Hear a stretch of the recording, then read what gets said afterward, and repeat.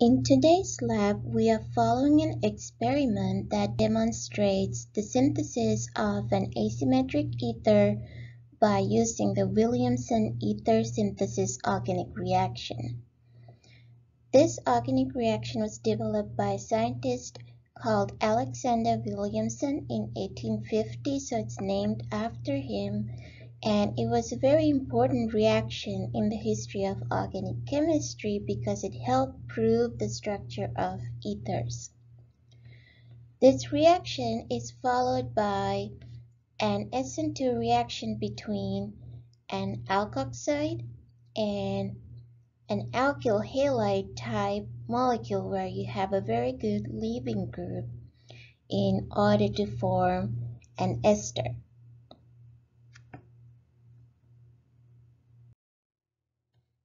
Williamson ether synthesis is an SN2 type reaction, which means substitution by a nucleophilic attack which is occurring between two molecules.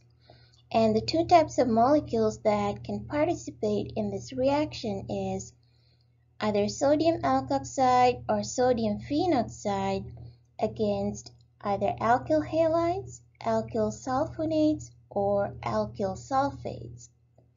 You can see that each of these molecules, alkyl halide, alkyl sulfonate, and alkyl sulfate all have very strong leaving groups. So this allows for concerted attack by a nucleophile to this carbon, allowing a new molecule to form. Over here, how do we produce the sodium alkoxides or sodium phenoxides? We react the alcohol version of this molecule with a strong base like sodium hydroxide in order to make this alkoxide version. The reason we use the alkoxide or a phenoxide, which is made by a phenol reacting with a strong base like sodium hydroxide, is that this group will serve as a stronger nucleophile compared to how it would be if it was just an OH group.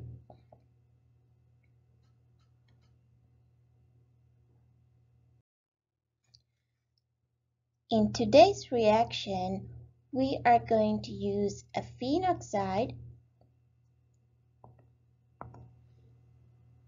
over here ethyl uh, 4-ethyl phenoxide reacting with a sulfonate, an alkyl sulfonate, ethyl p toluene sulfonate, in order to prepare an asymmetric ether product by the Williamson ether synthesis reaction.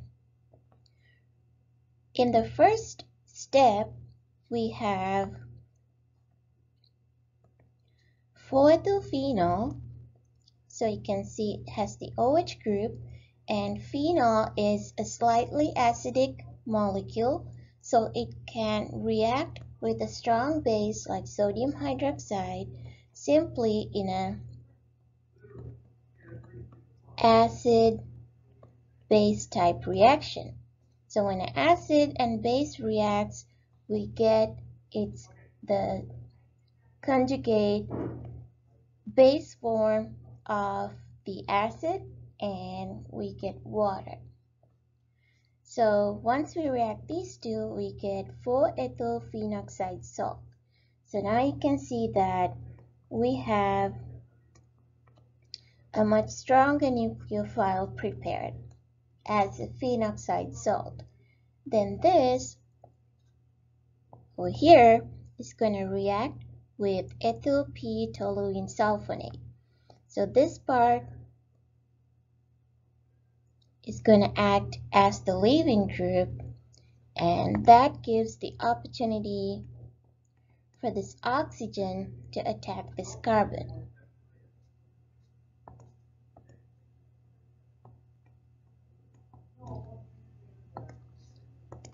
So let's draw the lone pairs of the oxygen again. So what happens is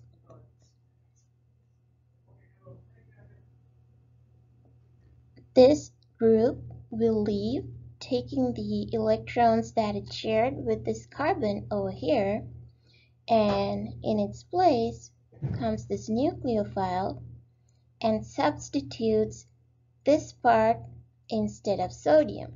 So over here, we get this new ether product 1-ethoxy-4-ethylbenzene. So you can see that this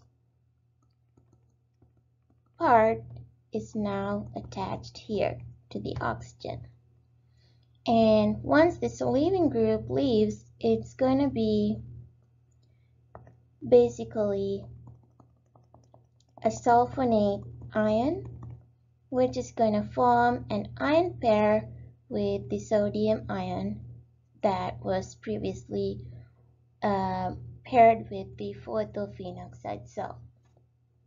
So basically, this is the whole reaction uh, that is happening in the experiment we are learning of today. In the next couple of slides, I'm explaining the procedure and help you understand what is going through each step. So first of all, we have 4-ethylphenol mixed with 25% NaOH. We add them together in a vial.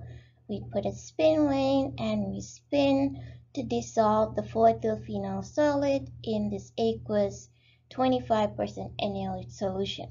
So they're going to have an acid-base reaction and will produce 4-ethyl phenoxide.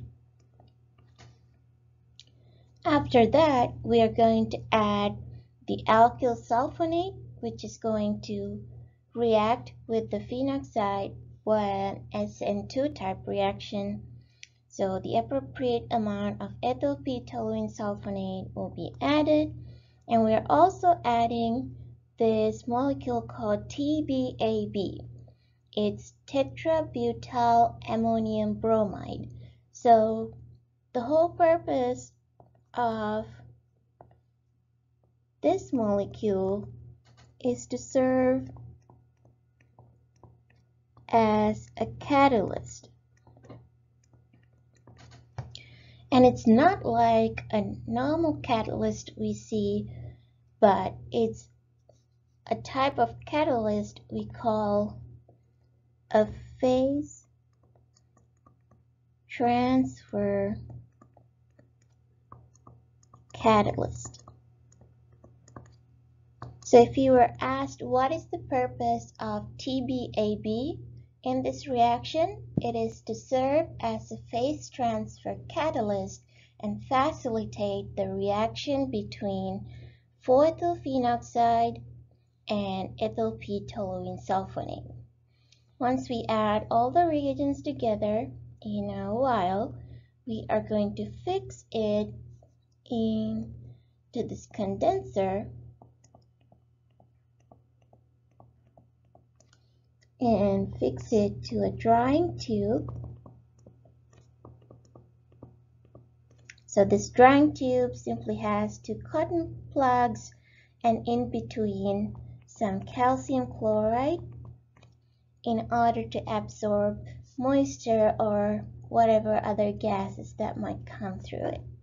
And in this condenser, we have water coming in from the bottom faucet and water leaving from the top faucet. Why do we use a condenser and why do we call this a refluxing? If you think about it, if you had this reaction vial with your reagents in there and you supplied heat to cause the reaction to happen, if we just left it open to the environment, this solution is eventually going to evaporate. But if we fix a condenser to it and then allow the reaction to happen, whatever liquids that vaporize, it's going to be cooled down once it moves up in this condenser, form droplets, and fall back into the reaction vial because the water coming in and flowing out is going to absorb whatever heat from this vapor causing them to condense. So this refluxing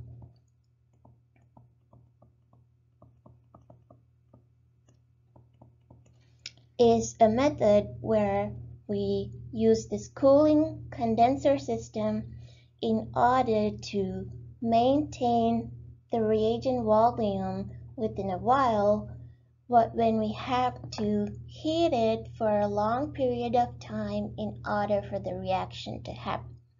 So that would be something you should remember. Why do we need to reflux? Okay, next, let's look at what's going on in the reaction vial. So, ethyl p-toluene sulfonate, you can see um, over here, it's kind of a neutral molecule. Even though there are some oxygen in it, it's a neutral molecule. And it has this bulky uh, hydrocarbon parts to it. Over here, this bulky hydro hydrocarbon parts attached to it. So the polarity from this part of the molecule is not enough to make it soluble in an aqueous solution. So it's going to exist in the organic phase. And the 4-ethylphenoxide, as you can see, it's an ionic molecule and ionic molecules are able to form strong interaction with aqueous solutions. So it's going to be soluble in the aqueous phase. So the reaction vial, if you think about it, um, if you mix some oil in water and mix it, it's going to form kind of an emulsion, right? There will be oil droplets floating in the water or the aqueous solution. So there will be an aqueous phase and organic phase.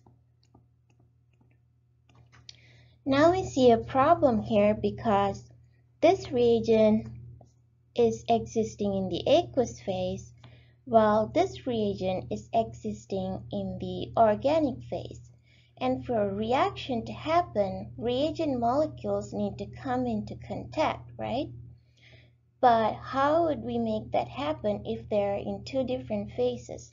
So that's why we use that phase transfer catalyst called TBAB, tetrabutyl ammonium bromide, which has an ionic property to it as well as a hydrocarbon property to it. So this side is polar and this side of the molecule is nonpolar. So it can exist in the surface between the aqueous phase and the organic phase and then attract each of these molecules towards the interface so they can react with each other.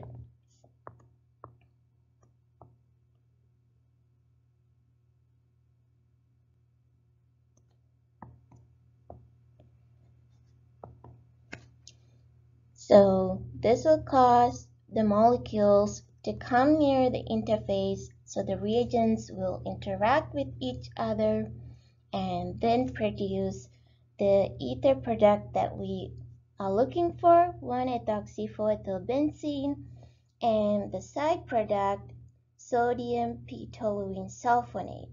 As you can see, this is a salt type molecule and this will actually form a salt precipitate.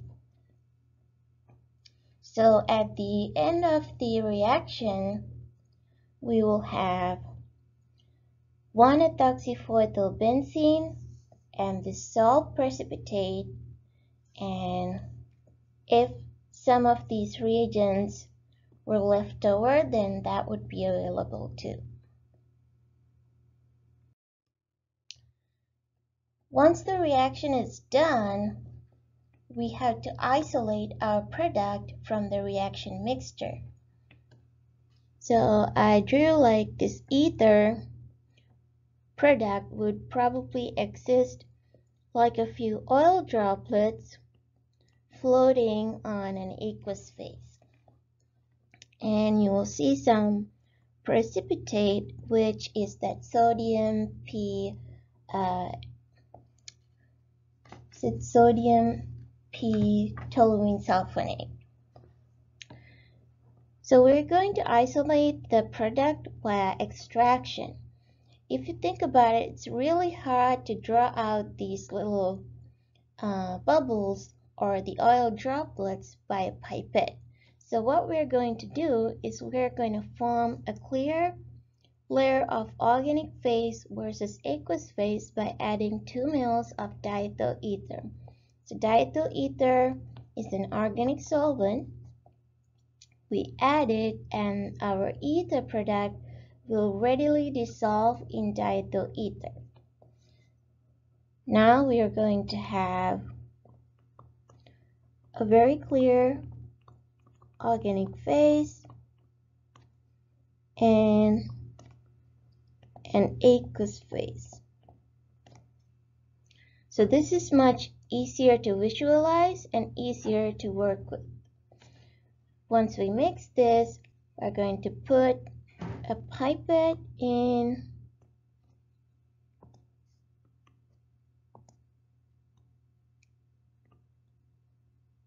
and draw out the aqueous layer. Then we're going to add a 1 ml of water to dissolve that sodium P toluene sulfonate precipitate. So it's going to dissolve in the aqueous layer because it's a salt. And again, we remove the aqueous layer. Next, we're going to wash the organic layer with 5% sodium hydroxide. The reason for that is if there were some 4-ethylphenol that had not reacted initially, that is going to interfere with our isolation because this is also a neutral uh, molecule with a large hydrocarbon portion, so it's going to mix in the same organic phase as our ether product. So if we isolate it like that, our product will not be pure. So to make sure that there are no 4-ethylphenol left in the organic phase, we're going to react it with 5% NaOH. You can see that initially we used 25%. Now we are using a much dilute solution because there's probably very little 4-ethylphenol uh, left, if any, in the organic phase. So again, we will see an acid base reaction and it will be converted to full ethyl phenoxide which is an ionic molecule due to these charges and ionic interactions are strong enough to drag this nonpolar part and everything into the aqueous layer. So if there was some 4-ethylphenol left here, it will react with the sodium hydroxide, become an ionic molecule, and move to the aqueous layer. And when we remove the aqueous layer, we are removing the leftover 4-ethylphenol. I hope this makes sense. So after that's done, we are going to wash the organic layer with 1 to 2 mils of water. Why do we do this? There can always be a few droplets of aqueous layer trapped in the organic layer. But if we wash it with a bulk of water, since like dissolves in like, these water droplets will be easily drawn into the water that we're washing with. So we're kind of removing traces of water from the organic layer. Finally, we're going to do another step to remove any traces of water from the organic phase, which we call drying the organic layer. Drying means here is removing any any presence of water from the organic layer using anhydrous sodium sulfate. Anhydrous means it's very dry and it can it's highly absorbing moisture.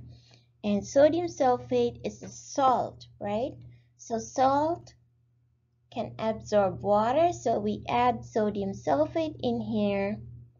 So if there were any more traces of water that was in the organic layer, that will be absorbed by the anhydrous sodium sulfate. So that is the purpose of using anhydrous sodium sulfate. Once we're sure our organic layer is dried, we're going to pass it through a filter pipette and collect it to a pre-weighed 10 ml flask, a 10 ml beaker,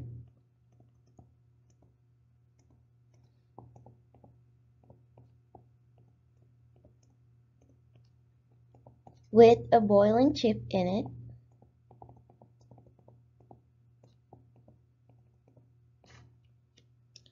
And we're going to collect this organic layer in here.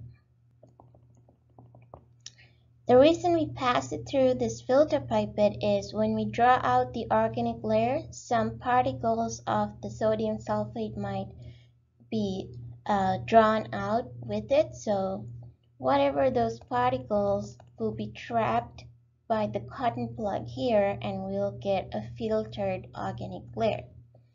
So remember this organic layer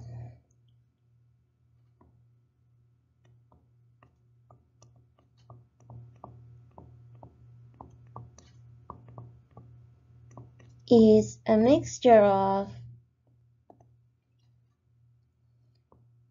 diethyl ether and our ether product is one ethoxy for ethyl benzene.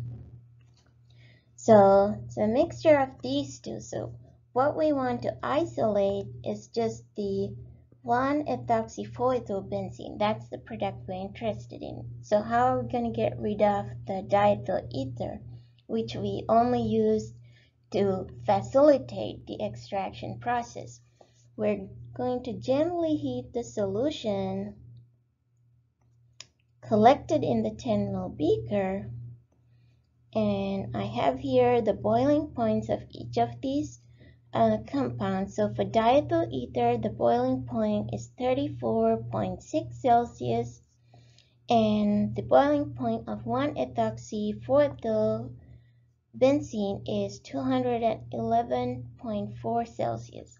So if we gently heat this, all the diethyl ether is going to quickly evaporate and the 1-ethoxy-4-ethylbenzene will be left as a residue. Usually we add this boiling chip to avoid aggressive bubbling.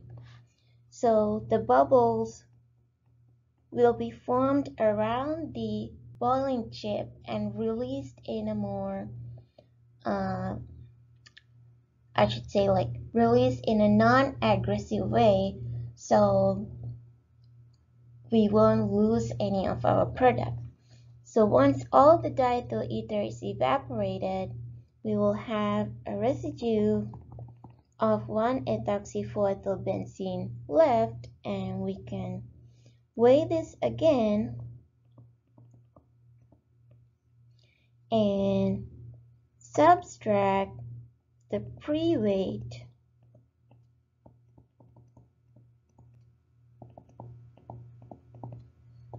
to get the weight of ether product.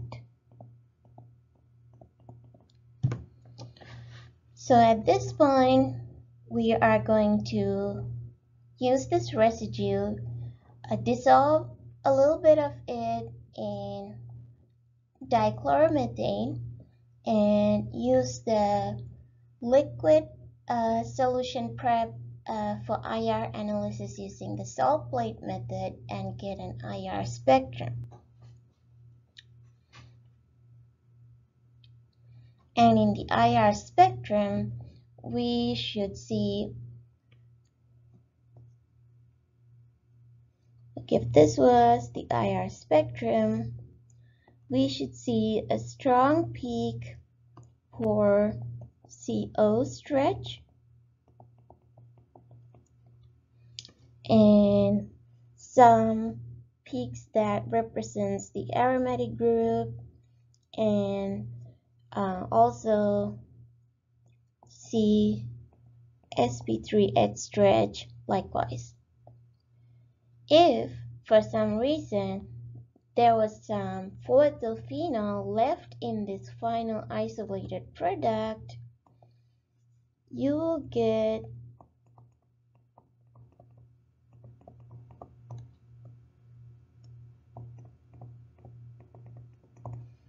an OH peak.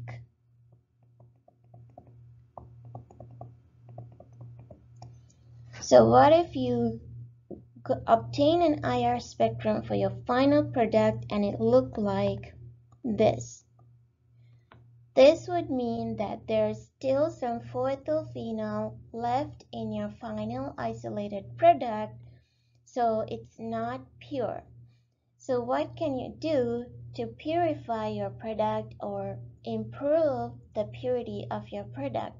You can redissolve this uh, product in diethyl ether and wash a few more times with 5% NaOH to convert all of the remaining 4-ethylphenol into the phenoxide so it will dissolve in the aqueous phase and then you can remove it.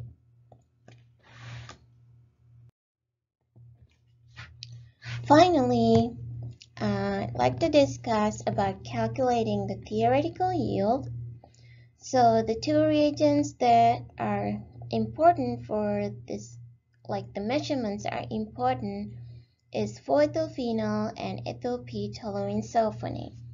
Here's their molecular weights, and these are the amounts that the procedure tells us to measure. So how do we get the required weight that we need to weigh? We get that by multiplying the number of moles by the molecular weight. So, for example, we need to measure 146.4 milligrams of 4-ethylphenol. And we need to measure 240 milligrams of ethyl p sulfonate. The amount of TBAB is not that important because it doesn't participate in the reaction. It only serves as a phase transfer catalyst.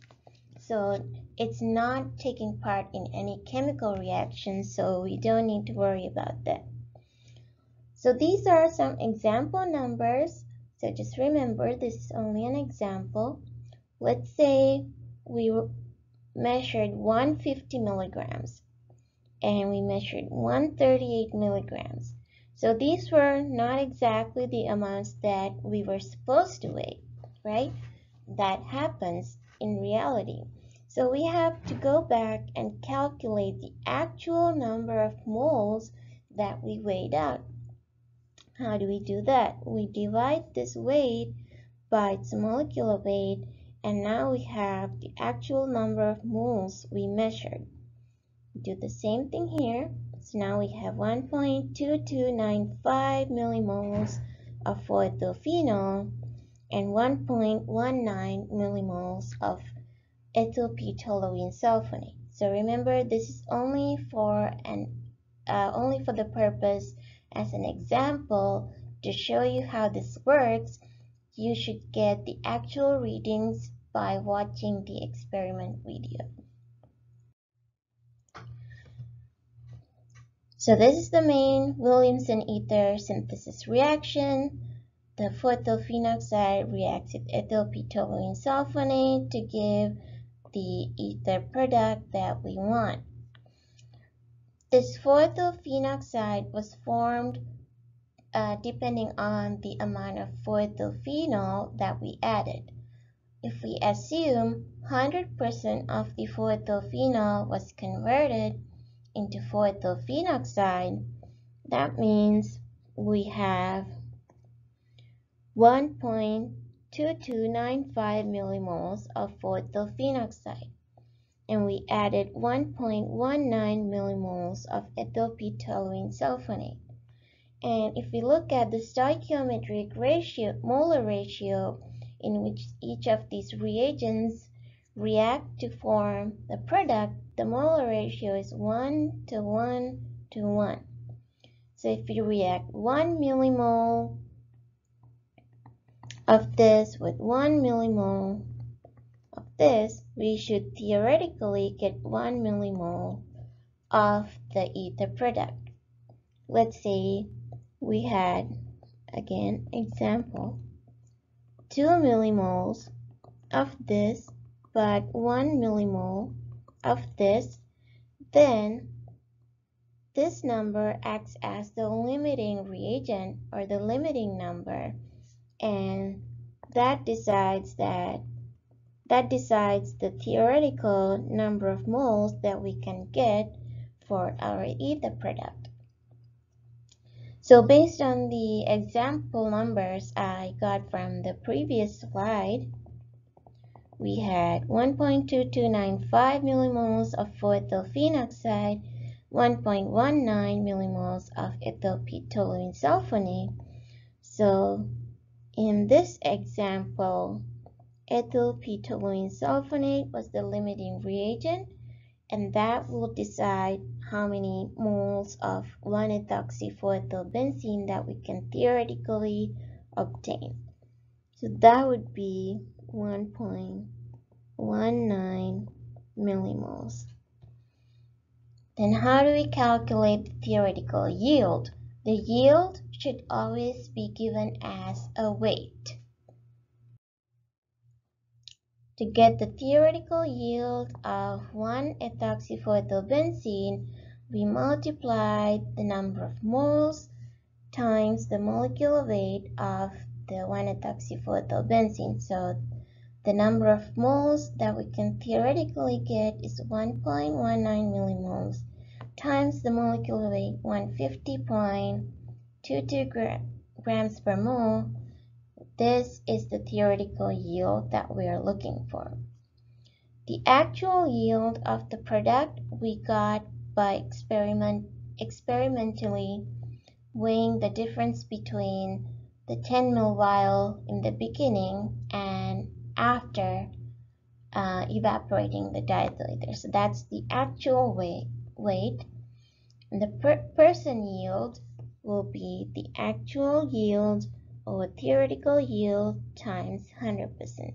So you are able to calculate the person yield. If your person yield is very low, that means you have to improve uh, your techniques in the experiment in order to get a higher yield. So that's all I wanted to explain for this lab. If you have any questions, we can discuss them.